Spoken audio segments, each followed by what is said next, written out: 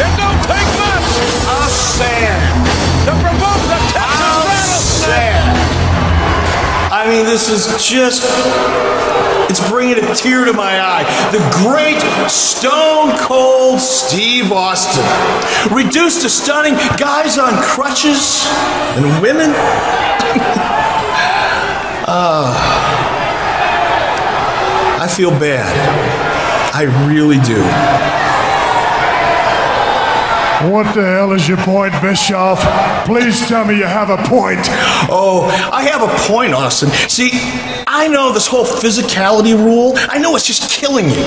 I know that you think it's keeping you from doing your job. You're damn right. It's tearing the ass out of me. well, then I've got a proposal for you, Steve.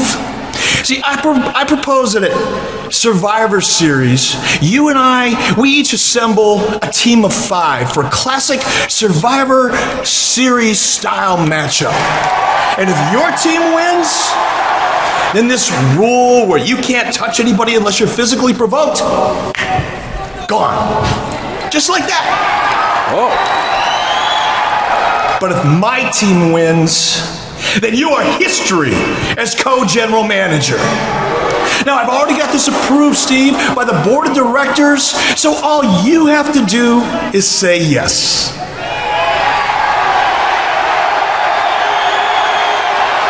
Uh, And Steve, Steve, before you say anything, just want to let you know that I've got two volunteers who are more than happy to be a part of my team.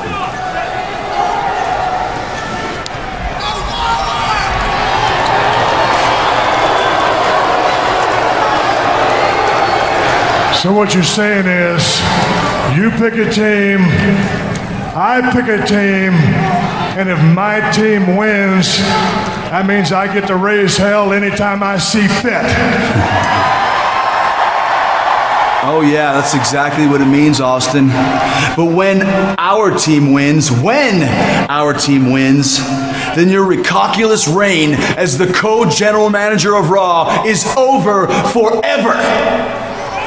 So, what's it gonna be, you sanctimonious son of a bitch? Oh. Them's fighting words. When you put it like that, Chris Jericho, it's real simple, and it's three little words, and those are, oh, hell yeah! Oh no! Now give us some damn minute. Well, it's on for the Survivor Series. Hey, oh. oh, no, no, no! Stacy, Stacy, Stacy. What has this young lady done?